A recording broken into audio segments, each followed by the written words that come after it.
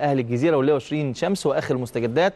محمد مساء الخير ورحب لنا باللواء 20 مدير التنفيذي للنادي الأهلي. إن شاء الله نشوف معاكم آخر المستجدات.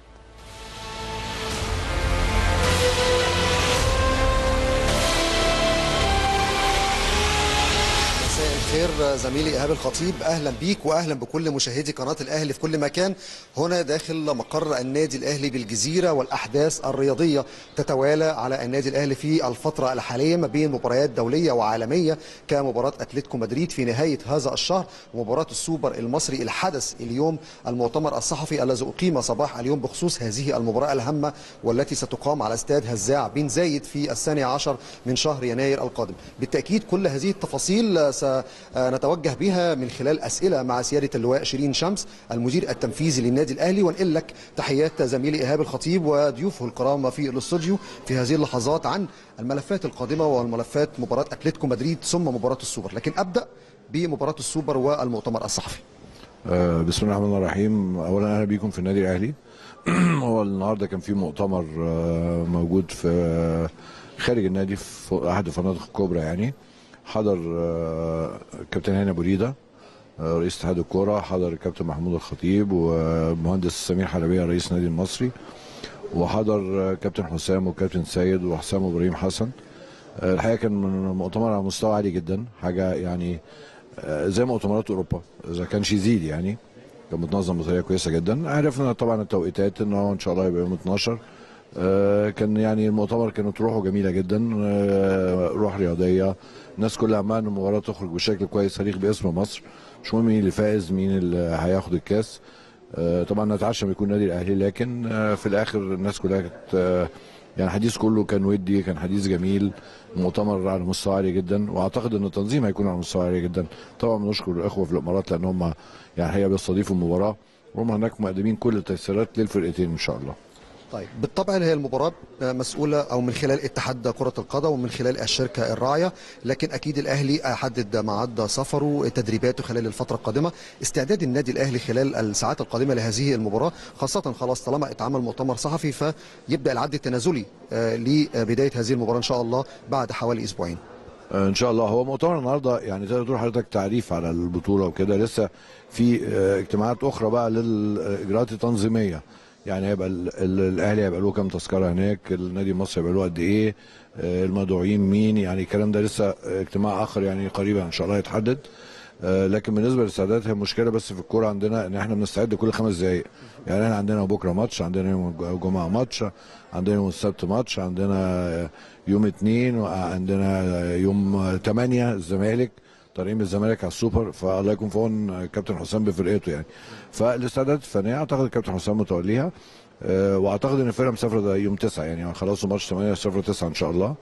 وهيتدربوا بقى 9 و10 و11 ويلعبوا ماتش 12 إن شاء الله. خلال الفترات الأخيرة كان هناك طبعا توأم مع أهل دبي. إحنا بنحاول نقول معلومات جديدة الجمهور يبقى سمعنا وسمع معلومات جديدة. متوقع التدريبات الأهلي إن شاء الله هتكون في أهل دبي خلال الأيام القادمة ولسه كمان ترتيبات التدريبات ومواعيد التدريبات بالنسبة للفريق في لقاء السوبر.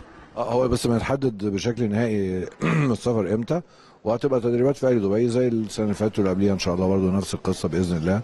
أه وأعتقد الموضوع دي يعني موضوع تنظيم التدريبات بموضوع سهل جدا. هناك الناس بيقدموا كل التيسيرات. فده مش شايلين همه لكن هنشوف بس هنسافر إمتى إن شاء الله. تأكيد من الكابتن حسام يعني. مباراة للسوبر آه، للمرة الثالثة على التوالي في الإمارات. آه، حضرتك رأيك في الملف ده إزاي؟ وبالتأكيد كلنا سعداء كمان باستضافة الإمارات لهذا ال- الحدث مباراة السوبر المصري. وحاليا المباراة على استاد هزاع بن زايد الأهلي عنده ذكريات جميلة في هذا الملعب. مباراة روما ومباراة الزمالك في السوبر آه، قبل الماضي. آه آه، طبعا إحنا بنحب الملعب ده جدا يعني آه يعني طبعا إن شاء الله هو الملعب ما ملوش علاقة بس يعني إن شاء الله أولادنا هيقدموا عرض كويس. آه طبعا لما عرفنا في هزاع بن زايد إحنا الحقيقة كنا سعداء. آه السوبر العام الثالث على التوالي يمكن الس- السنة اللي فاتت خسرنا بضربات الجزاء زي ما الكل عارف. فإن شاء الله هنعوضها السنة دي بإذن الله إن شاء الله إن شاء الله. طيب. الحدث اللي قبل ده مباراة أتلتيكو مدريد. آه، آخر الترتيبات وآخر الإجراءات وفريق الأسباني هيصل آه، برج العرب إمتى مباشرة وآخر الإجراءات والترتيبات الإدارية خلال الساعات القادمة. لا هو كل الإجراءات تمت الحمد لله بالتنسيق مع مديرية أمن اسكندرية. أه حضرتك عارف في ماتش 29 بتروجيت هناك آه، اتنقل اسكندريه الحمد لله. فإحنا نسافر إن شاء الله 28 عشان نتواصل مع الشركة الراعية برضو. آه، التذاكر اتطرحت النهارده. آه، أنا طبعا اتفاجئت أو مش متفاجئ يعني لكن الاقبال شديد جدا. آه، أنا كنت كنا قلقانين من 30 ديسمبر في اسكندرية 8 مساء. ده شيء آه يعني ده يعني شتوي شتوي يعني. لكن أنا شايف الإقبال غريب جدا زي ما يكون مباراة في أغسطس في جو حلو. وده إحساس الناس اولا بفرقتهم ثانيا ال ال ال الهدف من المباراة هو ده الأهم وهو ده الأسمى. اللي هو السلام ضد الإرهاب- ضد الإرهاب. فيعني الناس شايف إن في مشاركة قوية جدا وده بقول لك لسه ده في خلال الساعتين اللي فاتوا بس. لا هو اللي على النت لغاية دلوقتي المفروض إنه تقريبا 15 آه، جوه النادي هنا أنا شايف إن إحنا يعني أنا لسه ما حصلتش بس أقصد في خلال ساعتين شايف إقبال كبير يعني. ف يعني يعني أعتقد إن شاء الله في خلال يومين هتكون التذاكر خلصت إن شاء الله. كمان الترتيب هناك مع مديرية أمن اسكندرية في مسألة إقامة وإعاشة فريق الاتليتيكو آه، قبل المباراة وكمان ميعاد السفر والتوجه لأسبانيا بعد المباراة. لا هم يعني هم جايين بطياره خاصة وهيوصلوا أنا ما أعرفش 28 أو 29 ولسه ما اكدوش لكن إحنا منسقين كل حاجة مع مديرية أمن اسكندرية من مجرد وصولهم للمطار برج العرب والتأمين لغاية ال- ال- الفندق الإقامة والفندق متأمن بالكامل إحنا فرقتين هينزلوا فندق فندق واحد إن شاء الله. فده أسهل لل- للمديرية يعني أو للأمن هناك إنه تأمين فندق واحد هيبقى أسهل من إنه يبقى في منطقتين أو في فندقين مختلفين. آه، الحقيقة هم في الحتة دي كمان مكان الفندق ووضعيته الجغرافية بتسهل عملية التأمين جدا.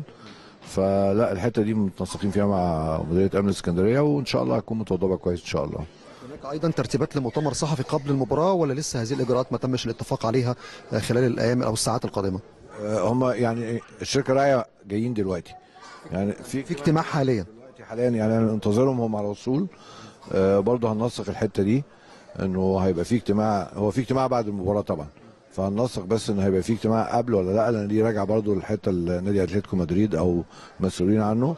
ف يعني إن شاء الله هيبقى غالبا هيبقى في قبل وبعد لكن المؤكد إنه بعد المباراة هيبقى في مؤتمر صحفي آه، جزئية كمان مهمة.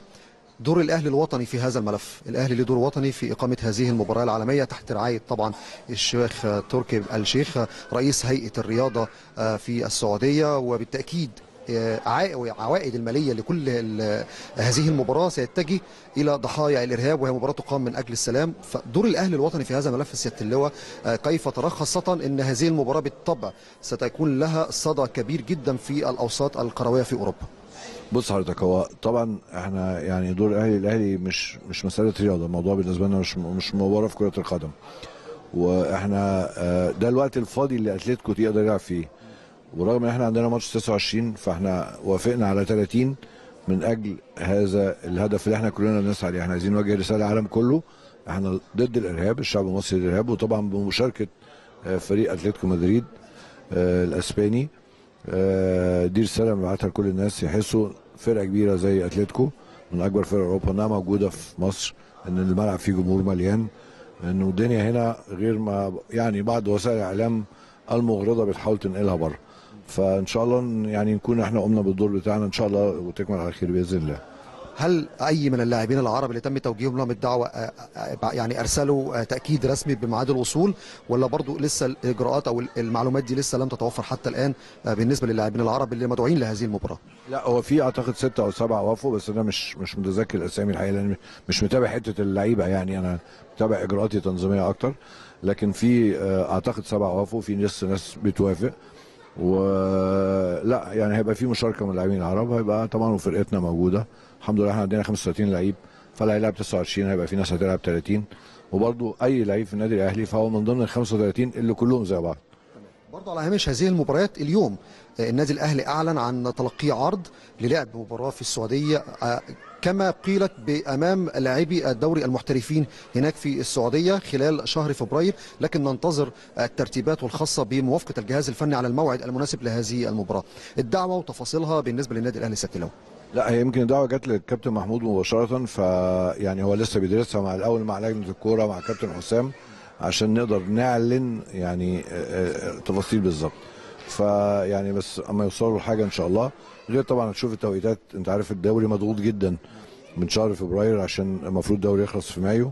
فهنشوف إيه الميعاد اللي ممكن يبقى مناسب أو يعني لجنة الكره هتشوف مع الكابتن حسام وهيقرروا يعني إن شاء الله. سياده اللواء أنا بشكرك شكرا جزيلا ومعلومات جديدة في هذه اللحظات عن مباراة الأهلي والمصري السوبر مباراة الأهلي وأتلتيكو مدريد وفي اجتماع حاليا بخصوص الترتيبات الخاصة بمباراة الأهلي وأتلتيكو مدريد مع الشركة الراعيه للمباراة. أنا بشكرك سياده اللواء ودايما التوفيق يا رب إن شاء الله. شكرا شكرا شكرا. اذا ده كان لقاءنا مع سياده اللواء شيرين شمس عن آخر الترتيبات والإجراءات الخاصة بالأحداث الرياضية العديدة للنادي الأهلي في هذه الفترة. مباراة أمام أتلتيكو مدريد مباراة في السعودية ننتظر موافقة الجهاز الفني على الموعد المناسب مباراة السوبر المصري اللي جماهير النادي الأهلي بتنتظرها في كل مكان وسيمتلئ الملعب بهم كما هم عودونا دائما في الإمارات وفي أي مكان في أرجاء الوطن العربي. لكن من هذا المكان ومن أمام هذه البطولات الكثيرة والكبيرة دوري كاس بطولة أفريقيا سوبر أفريقيا الأهلي دائما طبعا صاحب الألقاب القياسية والأرقام القياسية. هنا من داخل مقر النادي الأهلي بالجزيرة عودة من جديد إلى زميلي إيهاب الخطيب. إليك الكلمة زميلي إيهاب. آه،